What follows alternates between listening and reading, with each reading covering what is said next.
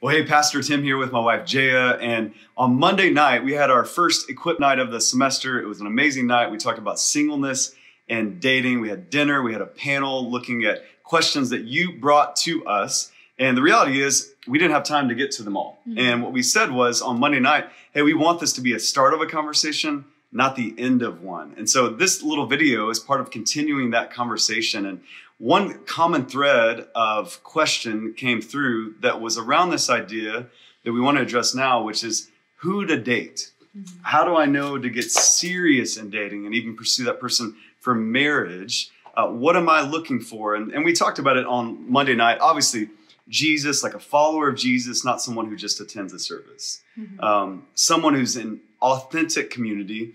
Uh, who doesn't just have casual networks of friends, right? Those are a couple things off the top. We already covered that, so we won't get into that. But we we talked and said like, hey, we know couples who are godly and flourishing, who love the same things. Like both of them are athletes and nutrition freaks, right? We know people like that, and they're godly and they're flourishing, and they have a lot in common. But we also know couples who don't like the same things. And in fact, they're kind of fun to hang out with because they kind of go back and forth and pick at each other and they have very different personalities. And yet they're godly mm-hmm. and flourishing in their marriage years later. And so we were talking about what's the what's the common thread beneath those sort of surface level chemistry things that we typically look for and who to date, who to marry. What's the thread beneath those things that helps maintain a godly, flourishing relationship. And we talked about humility and teachability. Mm-hmm. And that comes right out of Philippians 2 and scripture. Uh, and it talks about, hey, in humility, consider others more than you do yourselves. Uh, look out for the interest of others more than you look out for your own interests. Mm-hmm. And I think that's so countercultural to the way we date, isn't it? I mean, even when we think about who to date, we're looking out for our own interests. We got a list we got an algorithm set up of like all the things that we're looking for of our own interest and we do. We want them to be adventurous because we're adventurous. We want them to to like certain types of food because that's what we like. We want them to have this disposition because that's the disposition we have. But in reality what you're doing is you're looking for yourself not another person. And you don't need yourself in a dating relationship or in marriage. You need someone to complement you right?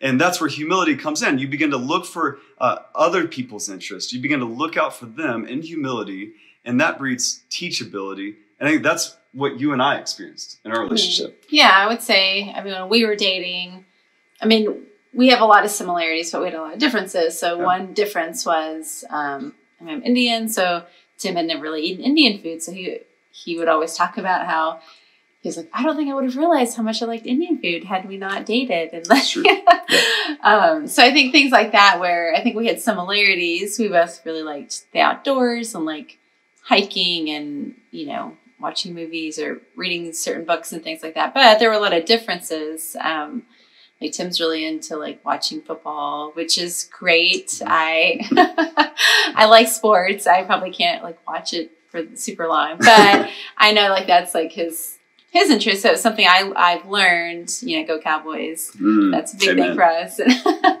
so just knowing there are, there are similarities, but there's differences that you get to learn from each other. So just knowing that God created us all different. And so we think we want the same, someone that's just like us, but we actually want something, we need something that's different than us. That honestly challenges us to be, you know, thankful for that God's created us all different. So I think in that way we're able to, yeah. see God's design, how we're all made different. But then also, um, I think we really enjoyed seeing um, being able to practice like what repentance looked like in our yeah. in our relationship of knowing we weren't perfect, and so I think seeing that in each other of like being willing to to step out and being willing to um, recognize the the imperfect parts of our character just because that's going to when you get married you're definitely going to see those things yeah. come out. The blemishes of your character will come out and mm-hmm. uh, that you didn't even know were there. And so it's really good that i feel like we tried to practice that when we were dating. It wasn't always perfect but i think you definitely on.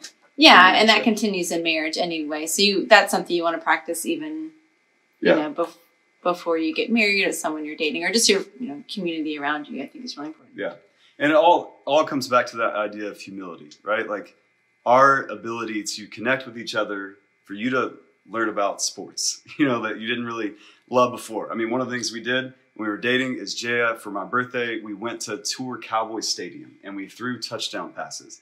Which I love. I love. She loved it. to play sports. She loved, did, she did love it. Yes. It probably wouldn't have been at the top of your list of like outings uh, to do bucket list items before you die, right? But you you looked for my interests, like Philippians two, and you're like, hey, I want to learn about this. But it's not just one sided. I began to look out for your interest, and I didn't like to run, and you love to run. That's your safe haven.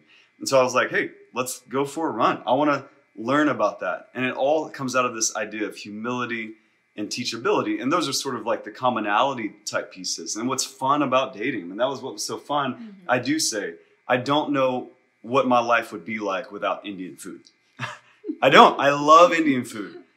But I did, it wouldn't have, listen, it wouldn't have been on my list of characteristics to look for in a wife. Is somebody who made Indian food or like. I didn't even know that I liked that. But that was the, the amazing part of looking out for someone else's interests, not my own. Humility that leads to teachability is now I love Indian food. And that's that's I have somebody who complements me, not someone who is me in a relationship. And and those are like the commonality things, but as Jaya talked about, it goes deeper than that to things like repentance. And that's mm-hmm. sourced from a humility and a teachability. That's the thread. And we see those couples who are very different. They fight, but they fight clean. And they repent and they practice that repentance in their life. And, and they don't hold on to things so tightly with the closed fist. They open empty hands mm-hmm. and say, Hey, I'm imperfect. These are areas of my life where I'm still striving to follow Jesus, to um, confess and looking at scripture. I'm not done yet. I'm not a finished product yet. And so those kind of things as well, just like the Indian food or sports or other commonalities that are fun to learn about in the other person that's sourced from humility. Also, something like repentance, which is the key to marriage, uh, because you will fight. You just need to acknowledge that, and you want to fight clean, and that starts with repentance, and that's sourced in humility. So, how do you know who to date? You look for humility and teachability. Once you get beyond, of course, they follow Jesus, they're in authentic community. Of course, we have some commonalities and chemistry, but beyond all that, you want to see this common thread in their life of humility and teachability with simple things like Indian food and sports and jogging, but also with the really deep things in life like repentance, confession, looking at God's word, being molded by Jesus. And Yeah. you need to be asking as you're thinking about should I ask that person out? Should I pursue this person for marriage? We've been dating for six months. Is this serious? Do they have the, those threads of humility and teachability? And I think that will help you. So, hey, we hope this has been helpful to you. Uh, we hope this is a part of continuing this conversation around singleness and dating. Uh, we love you. We're praying for you. We know it's a difficult lands- landscape. Trust Jesus with your life and with the person you want to date, and uh, He will set your path straight. He will work this out for you, and He'll draw you closer to Him in the process. Right? So, we love you. Take care.